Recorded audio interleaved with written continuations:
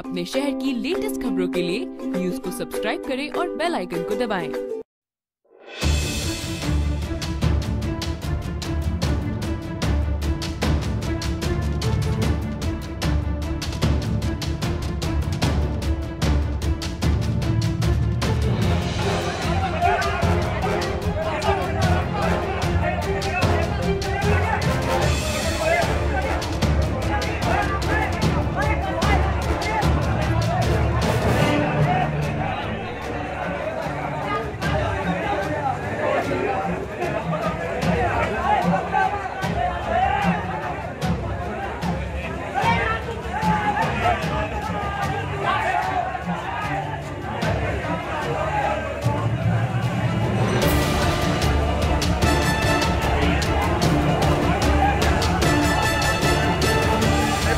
गाड़ी भैया कौन है हटिए उतरिए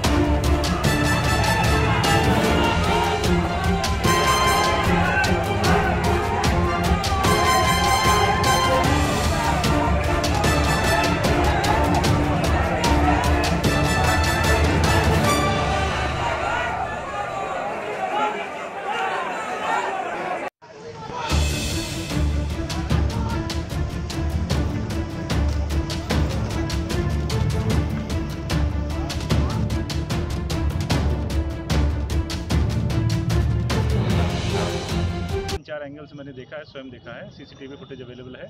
इसमें दो लड़के भाग रहे हैं। इनको गिरफ़्तार किया गया। इनके पास से तीन तमंचे अवैध रूप से बरामद हुए हैं। इनको पुलिस अधीक्षक ने अलग से ले जाके पूछताछ की जिसमें इन्होंने स्वीकार भी किया है कि हमारी पर्सनल राइवलरी थी। कबीर तिवारी की वजह से इनको कई बार इनकी पिटाई हुई और इनके साथ कई बार अपमान झेलना पड़ा। और उस पर कोई कार्रवाई कभी नहीं की जाती थी इसलिए इन्होंने ये स्वयं कदम उठाया। सांसद जी माननीय सांसद जी का ये कहना है कि इसके पीछे कुछ और लोग सा- साजिश में हैं उनको भी अनावरण करने किया जाना ज़रूरी है। तो उनके पिता जो कबीर तिवारी के पिता हैं उनको बुलाया गया और तहरीर में वो जो भी लिख करके देंगे जिस पर भी शक जताएँगे उसके हम लोग पूरी डिटेल्स गैदर करके उन पर कार्रवाई करेंगे। सर बॉडी को को चार घंटा बॉडी को चार घंटा कोतवाली में रोका गया। आरोप है कि उसी के नाते आक्रोश बढ़ा है। ये सही है बॉडी जब वहाँ पे रास्ते में ले जाते समय उसकी डेथ होगी, लाया गया तो पुलिस का काम छात्रों ने हैम्पर किया और उनकी मांग थी कि जो इस पर्दे के पीछे छुपे लोग हैं, उनको सामने लाया जाए। तो उनको समझाने में डीएम भी थे एसपी भी थे, काफ़ी देर लगी, सांसद जी भी थे और कई प्रतिनिधि भी थे, जनप्रतिनिधि प्रयास के, इस प्रयास में थोड़ा विलम्ब हुआ। आशंका थी कि क्योंकि शाम को हमारे यहाँ कुछ जगह विसर्जन का कार्यक्रम भी है और यहाँ भी काफ़ी, मेले में काफ़ी भीड़ होने वाली थी। इसके मद्देनजर फोर्स भी लगाई गई थी, लेकिन फोर्स में कहीं ना कहीं चूक हुई है।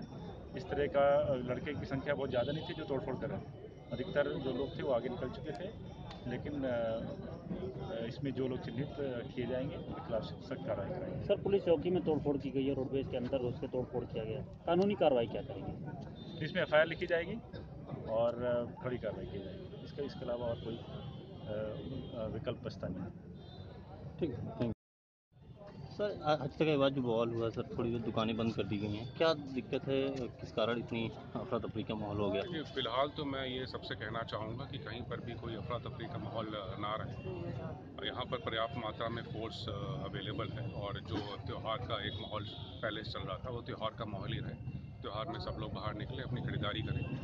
जो कुछ अराजक तत्वों ने यहाँ पर बस में आग ला, बस में तोड़फोड़ की है या चौकी में आग लगाने की कोशिश की है, उन लोगों को चिन्हित कर लिया जाएगा, उनसे अलग से जाएगा। लेकिन कहीं पर भी ऐसा डर का माहौल नहीं है। हम लोग यहाँ पर चौबीस घंटे हैं सबके लिए हैं। सुनिश्चित किया जाएगा कि ये चीज़ दोबारा रिपीट ना हो। ये भी सुनिश्चित किया जाएगा कि जो भी लोग इस तोड़फोड़ में इन्वॉल्व हुए हैं और जो लोग हत्याकांड में इन्वॉल्व है उनके खिलाफ भी कार्रवाई की जाएगी। सर पुलिस पर आरोप लगाया जा रहा है कि इनकी लापरवाही के नाते ही इतना बड़ा मामला हो पाया है।